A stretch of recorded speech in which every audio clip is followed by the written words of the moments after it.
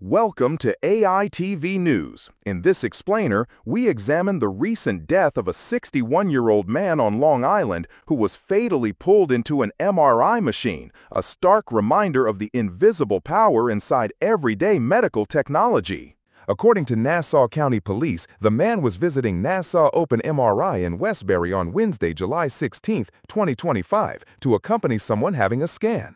He entered the scanner room without authorization while a study was underway. Because he was wearing a heavy metal chain, the machine's powerful magnet drew him in.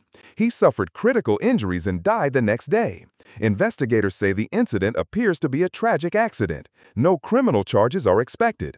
The Imaging Center has declined comment. To understand how something like this can happen, let's review how MRI, magnetic resonance imaging, works. Each scanner contains a superconducting magnet thousands of times stronger than Earth's magnetic field, and that magnet is always on. When radio waves are added, the system produces detailed pictures of organs, muscles, and other soft tissue without using X-rays. That ever-present magnetic force creates what professionals call the projectile effect. Any ferromagnetic object, keys, pens, wheelchairs, oxygen tanks, or jewelry can be sucked toward the bore of the scanner at extreme speed, turning into a dangerous missile. In the case of a chain or necklace, the victim can be choked or slammed against the machine before anyone has time to react.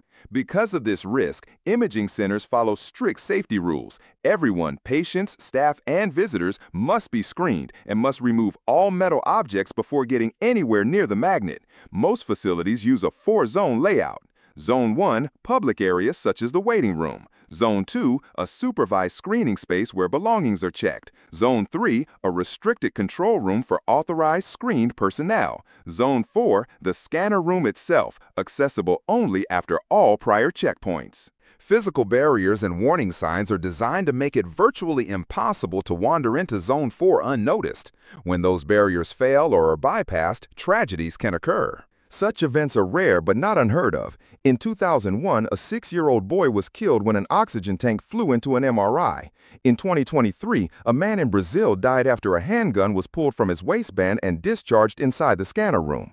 Each case underscores why even a momentary lapse in protocol can be deadly. The Nassau County investigation will focus on how the Long Island visitor managed to reach the magnet with a metal chain still around his neck.